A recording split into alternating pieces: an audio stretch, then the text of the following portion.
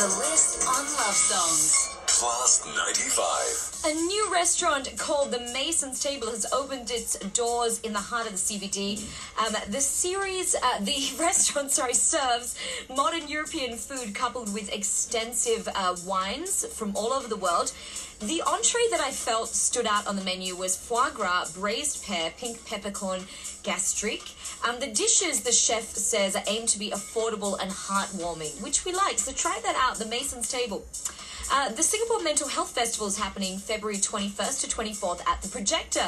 Well, they'll show different Asian and Western films um, around the theme of mental health, and there'll be in depth panel sessions as well. Guided meditation and yoga will also run during the festival, so give it a Google.